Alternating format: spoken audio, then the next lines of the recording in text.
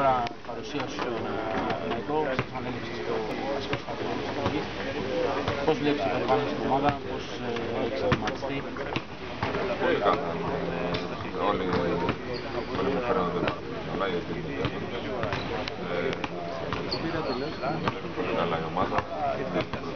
Εντάξει, εγώ λείπω από τις προπονήσεις, αλλά βλέπω τις τελευταίες δύο εβδομάδες.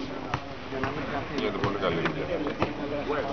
Ε, τώρα ο Παναθηναϊκός συναντήσε ένα τουρνουά δυνατό το πρώτο δυνατό ήταν ένα ταμές. Εσύ βλέποντας και την ομάδα σε μια πρώτη εικόνα θεωρούσες σε καλό επίπεδο για την εποχή. Ε, κοίταξε, ήταν αυτό που στα δύο πρώτα δυνατά τεστ είναι πολύ καλές ομάδες. Νομίζω εντάξει, το πρώτο ήταν κακό αποτέλεσμα, αλλά δεν πάει να είναι, είναι φιλικό και δεν μπορούμε να βγάλουμε συμπεράσματα. Είναι τα πρώτα παιχνίδια, θέλει η ομάδα πολύ δουλειά. Όπως είδα στην αντιπάλευση τώρα θα είναι εικονική, εικονικό αποτέλεσμα καθαρά. Ε, θέλει δουλειά και νομίζω ότι ξέρουμε τον τρόπο για να δουλέψουμε.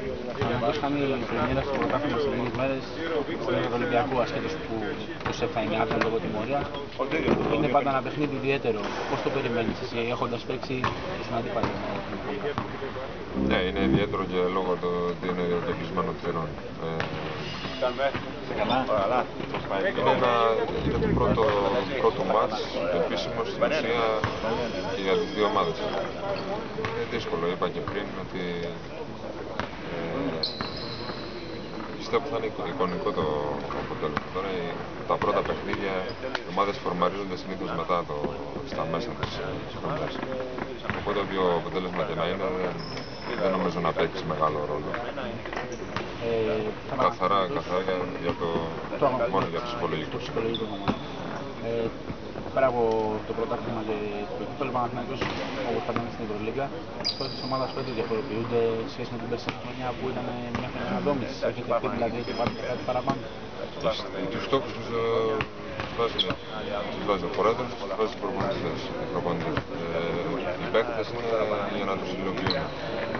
Εμείς να δώσουμε καλύτερο δυνατό ώστε να μπορούμε να καταφέρουμε ό,τι στόχους.